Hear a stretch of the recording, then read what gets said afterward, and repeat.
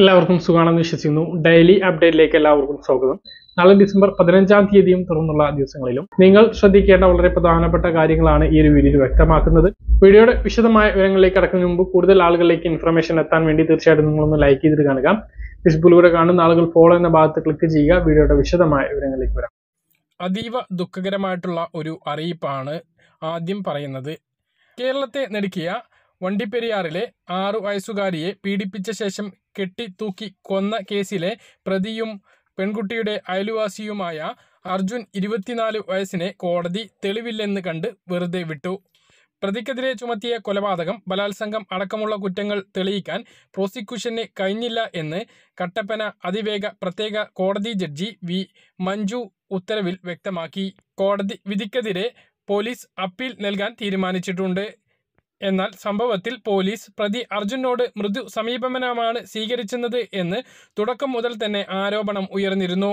Arjun DYFI പ്രവർത്തകൻ ആയതിനാൽ police നേരാവണ്ണം അന്വേഷിച്ചില്ല എന്നും പട്ടികജാതിക്കാരനല്ലാത്ത പ്രതിയെ പട്ടികജാതിക്കാരനാക്കിയാണ് പോലീസ് അവതരിപ്പിച്ചത് എന്നും പരാതി ഉണ്ടായിരുന്നു. ഈ കാര്യം ചൂണ്ടിക്കാട്ടി കുട്ടിയുടെ മാതാപിതാക്കൾ ഹൈക്കോടതിയെ വരെ സമീപിച്ചിരുന്നു. കൊലപാതകം നടന്ന ഉടൻ തന്നെ കുട്ടിയുടെ ഷാൾ കഴുത്തിൽ കുരുങ്ങി മരിച്ചു എന്ന് വരുത്തി തീർക്കാനാണ് പോലീസ് ശ്രമിച്ചത്. എന്നാൽ കുട്ടി ലൈംഗിക പീഡനത്തിനിരയായി എന്ന് പോസ്റ്റ്മോർട്ടത്തിൽ വ്യക്തമായതിനെ തുടർന്നാണ് അന്വേഷണത്തിന്റെ ഗതി മാറിയത്. പ്രതിക്ക് രാഷ്ട്രീയ സംഘടനയുമായി ബന്ധമുള്ളതായി അന്വേഷണത്തിൽ വെളിവായിട്ടില്ല എന്നായിരുന്നു മുഖ്യമന്ത്രി നിയമസഭയിൽ പോലീസ് നൽകിയ രേഖാമൂലമുള്ള മറുപടിയിൽ വ്യക്തമാക്കിയത്.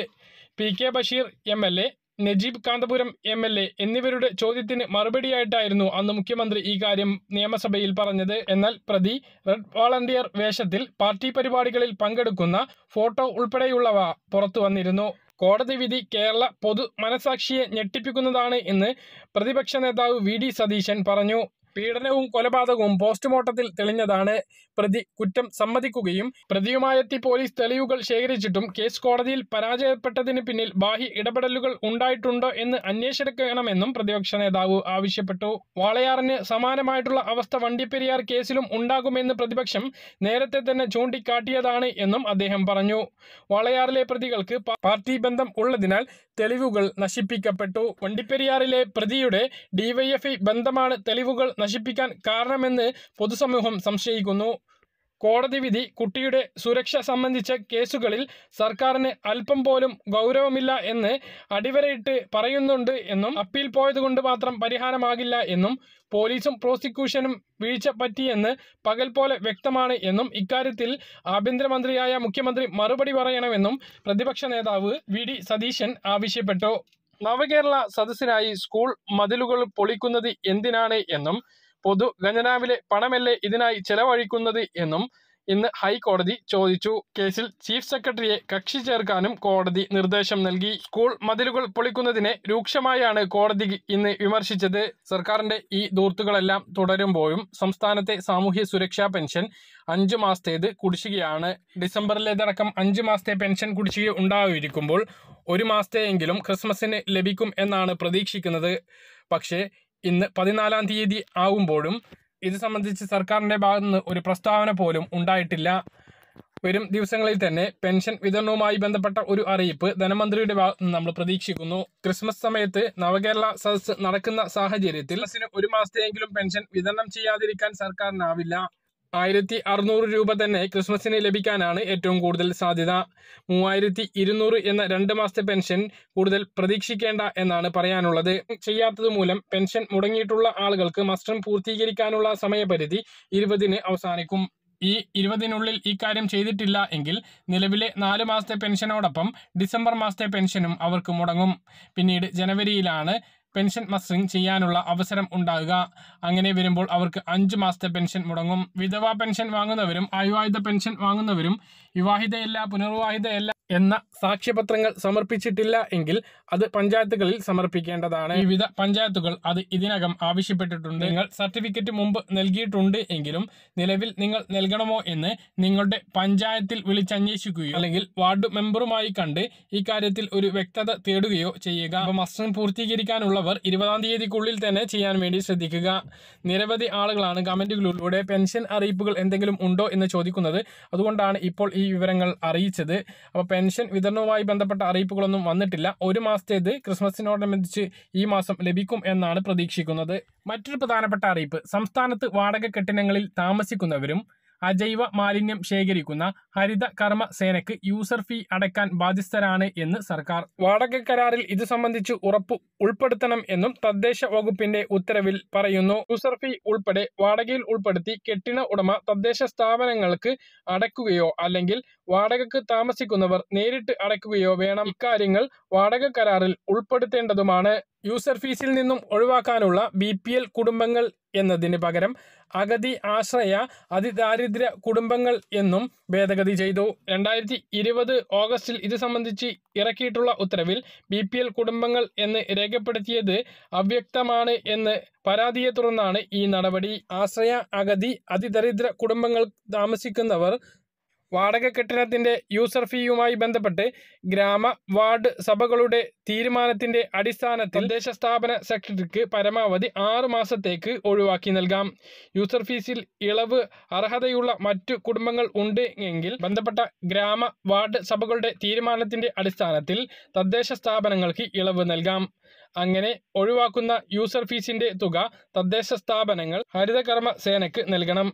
ഇതിനായി വാർഷിക പദ്ധതിയിൽ തുക വകയിരുത്തണം എന്നും പൂട്ടിക്കിടക്കുന്ന കെട്ടിടത്തിൽ നിന്നും മാലിന്യം ഉൽപ്പാദിപ്പിക്കുന്നില്ലെന്ന് കെട്ടിട ഉടമയുടെ സ്വയം സാക്ഷ്യപ്പെടുത്തലിന്റെയും തദ്ദേശ സ്ഥാപന പരിശോധനയുടെയും അടിസ്ഥാനത്തിൽ സെക്രട്ടറിക്ക് യൂസർ ഫീ ഒഴിവാക്കി നൽകാമെന്നും ഇതിൽ വ്യക്തമാക്കുന്നു. ഒരു അവധി അറിയിപ്പുണ്ട് അതാണ് ഇനി പറയുന്നത്. ഭീമാപ്പള്ളി ദർഗ ഷെരീഫിലെ വാർഷിക ഉറൂസ് മഹോത്സവത്തിന്റെ ആദ്യ ദിവസമായ ഡിസംബർ പതിനഞ്ചിന് തിരുവനന്തപുരം നഗരസഭാ പരിധിയിലെ എല്ലാ സർക്കാർ സ്ഥാപനങ്ങൾക്കും വിദ്യാഭ്യാസ സ്ഥാപനങ്ങൾക്കും ജില്ലാ കലക്ടർ അവധി പ്രഖ്യാപിച്ചിട്ടുണ്ട്. അതേസമയം മുൻനിശ്ചയിച്ച പരീക്ഷകൾക്ക് മാറ്റമില്ല എന്നും ഉത്തരവിൽ പറയുന്നു. മറ്റൊരു അറിയിപ്പ് കശുവണ്ടി ഇറക്കുമതി ചെയ്യുന്നതിനുള്ള സഹായത്തിന് കേരള കാഷ്യൂ ബോർഡ് കോർപ്പറേഷന് ഇരുപത്തി അഞ്ചു കോടി രൂപ അനുവദിച്ചതായി ധനമന്ത്രി കെ എൻ ബാലഗോപാൽ അറിയിച്ചു. ലക്ഷദ്വീപിലെ സ്കൂളുകളിൽ നിന്നും മലയാള മീഡിയം പൂർണമായും ഒഴിവാക്കി. അടുത്ത അധ്യയന വർഷം മുതൽ എല്ലാ സ്കൂളുകളും സി ബി എസ് ഇയിലേക്ക് മാറ്റും എന്ന് വിദ്യാഭ്യാസ വകുപ്പ് ഡയറക്ടർ രാകേഷ് ദാഹിയ ഉത്തരവിറക്കി. ലക്ഷദ്വീപിലെ വിദ്യാഭ്യാസ അവകാശം സംരക്ഷിക്കണം എന്ന് ആവശ്യപ്പെട്ട് കേന്ദ്രമന്ത്രിക്ക് പൊതുവിദ്യാഭ്യാസ മന്ത്രി വി. ശിവൻകുട്ടി കത്തയച്ചു.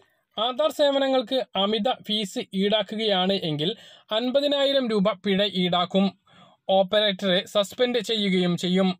പരാതികൾ ഉണ്ട് എങ്കിൽ പത്തൊൻപത് നാൽപ്പത്തി ഏഴ് എന്ന യു ഐ ഡി എ ഐയുടെ ടോൾ ഫ്രീ നമ്പറുകളിൽ അറിയിക്കാം എന്നും കേന്ദ്ര ഐ ടി സഹമന്ത്രി രാജീവ് ചന്ദ്രശേഖർ ലോക്സഭയിൽ അറിയിച്ചു. ആധാർ വിവരങ്ങളുടെ സുരക്ഷയിൽ ചോദ്യം ഉയരുന്നതിന് പിന്നാലെ ആധാർ തിരിച്ചറിൽ രേഖ മാത്രമാണ് എന്നും ജനനത്തീയതി തെളിയിക്കുന്നതിന് ആധാർ രേഖയായി ഉപയോഗിക്കാനാവില്ല എന്നും unique identification authority of India U വ്യക്തമാക്കി. ആധാർ വിവരങ്ങൾ സൗജന്യമായി അപ്ഡേറ്റ് ചെയ്യുന്നതിനുള്ള സമയപരിധി ഡിസംബർ പതിനാലിൽ നിന്ന് മാർച്ച് പതിനാല് വരെ നീട്ടിയിട്ടുണ്ട്. മറ്റൊരു അറിയിപ്പ് ആവശ്യങ്ങൾ അംഗീകരിക്കുമെന്ന ഉറപ്പിനെ തുടർന്ന് റേഷൻ വാഹന കരാറുകൾ മൂന്ന് ദിവസമായി നടത്തിവന്ന സമരം പിൻവലിച്ചു. Supplyco C M D Sriram വെങ്കിട്ടരാമനുമായി സമരക്കാർ നടത്തിയ ചർച്ചയിലാണ് ഈ തീരുമാനം. അനുസരിച്ച് കരാറുകാർ സമർപ്പിച്ച പ്രതിമാസ ബില്ലിന്റെ ഇരുപത് ശതമാനം രണ്ട് ദിവസത്തിനുള്ളിൽ അനുവദിക്കും.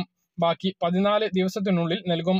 രണ്ട് മാസത്തിനുള്ളിൽ ഓഡിറ്റിംഗ് നടപടികൾ പൂർത്തിയാക്കി കരാറുകാരിൽ നിന്നും പിടിച്ചുവെച്ച തുക നൽകും സമരം പിൻവലിച്ചതായി all Kerala transporting contractors association ഭാരവാഹികൾ അറിയിച്ചു. സമരം പിൻവലിച്ചതോടെ റേഷൻ കടകളിലേക്ക് സാധനങ്ങൾ എത്തിത്തുടങ്ങും. അതേസമയം പണം കൊടുത്തു വാങ്ങേണ്ട ആട്ട അതുപോലെ നീല വെള്ള കാർഡുകാർക്കുള്ള അരി ഇവ റേഷൻ വ്യാപാരികൾ എടുക്കുന്നില്ല എന്ന് തീരുമാനിച്ചിട്ടുണ്ട്. സൗജന്യ അരിയായ മഞ്ഞ പിങ്ക് റേഷൻ കാർഡിനുള്ള അരിയും ഗോതമ്പും ഒക്കെ എത്തുന്നതാണ്. അതോടൊപ്പം തന്നെ സപ്ലൈകോ വഴി നൽകുന്ന സബ്സിഡി സാധനങ്ങളുടെ വില കൂട്ടാൻ സർക്കാർ തലത്തിൽ ധാരണയായി. ഇരുപത്തി അഞ്ച് ശതമാനം വരെ വില വർദ്ധിപ്പിക്കാനാണ് സർക്കാർ നിയോഗിച്ച വിദഗ്ധ സമിതി ശുപാർശ ചെയ്യുന്നത്. ആസൂത്രണ ബോർഡ് അംഗം ഡോക്ടർ രവിരാമൻ അധ്യക്ഷനായ വിദഗ്ധ സമിതി ഈ ആഴ്ച റിപ്പോർട്ട് സമർപ്പിക്കും. വില കൂട്ടാൻ ഇടതുമുന്നണി യോഗം അനുമതി നൽകി എങ്കിലും സർക്കാരിന്റെ നവകേരള യാത്രയ്ക്ക് ശേഷം മതി എന്നാണ് ഇപ്പോൾ സ്വീകരിച്ചിട്ടുള്ള നിലപാട്. രണ്ടായിരത്തി പതിനാറിലെ എൽ ഡി എഫ് സർക്കാരിന്റെ പ്രകടന പത്രികയിലെ വാഗ്ദാനമായിരുന്നു അവശ്യ സാധനങ്ങളുടെ വില ഒരിക്കലും വർദ്ധിപ്പിക്കില്ല എന്ന് ആ ഒരു വാഗ്ദാനമാണ് ഇതോടെ ഇല്ലാതെയാകുന്നത്. നവകേരള യാത്ര അവസാനിച്ചാൽ ഉടൻ തന്നെ വർധന സംബന്ധിച്ച പ്രഖ്യാപനം ഉണ്ടാകും. സർക്കാർ അടിയന്തരമായി പണം അനുവദിക്കാത്ത സാഹചര്യത്തിൽ എല്ലാ വർഷവും ഡിസംബർ അവസാനത്തോടു കൂടി നടക്കുന്ന ക്രിസ്മസ് ഫെയർ ഈ വർഷം ഉണ്ടാകുകയില്ല എന്ന് ഏറെക്കുറെ ഉറപ്പായിട്ടുണ്ട്. സംസ്ഥാനത്ത് ഇന്ന് സ്വർണവില കുത്തനെ കൂടി ഗ്രാമിന് നൂറ് രൂപയാണ് വർദ്ധിച്ചത്. ഇതോടെ ഒരു ഗ്രാം സ്വർണത്തിന്റെ വില അയ്യായിരത്തി എഴുന്നൂറ്റി അറുപത്തി അഞ്ച് രൂപയും പവന് എണ്ണൂറ് രൂപ വർദ്ധിച്ച് നാൽപ്പത്തി ആറായിരത്തി ഒരുന്നൂറ്റി ഇരുപത് രൂപയിലും എത്തിയിട്ടുണ്ട്. പറഞ്ഞ കാര്യങ്ങൾ കൃത്യമായിട്ട് മനസ്സിലാണെന്ന് കരുതുന്നു. ഇതുപോലുള്ള ഇൻഫർമേഷൻ ലഭിക്കാൻ ചാനൽ സബ്സ്ക്രൈബ് ചെയ്യുക ബെലൈക്കൻ എനേബിൾ ചെയ്ത് വെക്കുക. മറ്റൊരു വീഡിയോയുമായി നമുക്ക് വീണ്ടും കാണാം. ദൂരേക്കും